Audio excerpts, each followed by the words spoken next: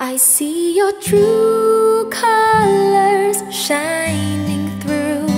I see your true colors, and that's why I love you. So don't be afraid to let them show your true colors.